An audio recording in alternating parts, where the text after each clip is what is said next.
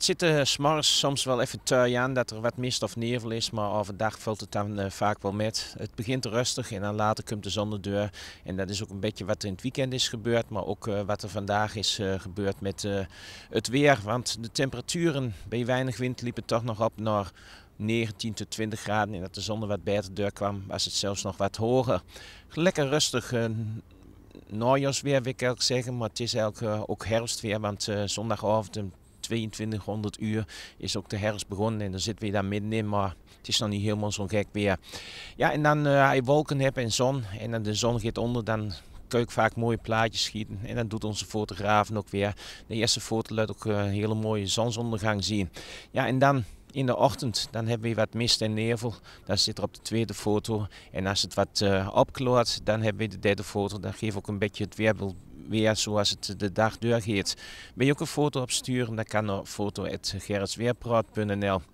Ja, voor de weerboeren is het een beetje een saaie werk uh, om te vertellen hoe het allemaal precies gaat voor de mensen die het metmaken. Maar dat doen we natuurlijk zelf ook wel.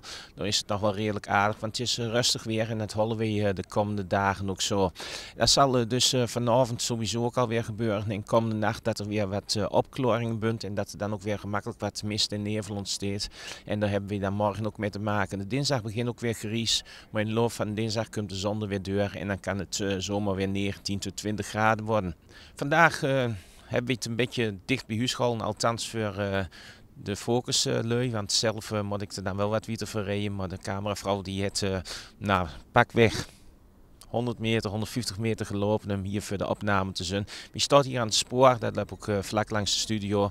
En ja, het is op dit moment rustig, maar dadelijk komt er nog wel een trein aan. Ja, en wat ook rustig is, ik had het er al over het weer, want na de dinsdag hollen we een beetje het weer dat het in de nacht en ochtend gemakkelijk wat mist en nevel ontsteert. En dat het overdag de zon er weer bij. En dat het dan ook weer uh, heel aardig weer wordt met 20 uh, graden zo'n beetje. Het is wel zo dat de wind die zuid tot zuidwest is begin van de week, later in de week wat meer omgeeft naar oostelijke richtingen.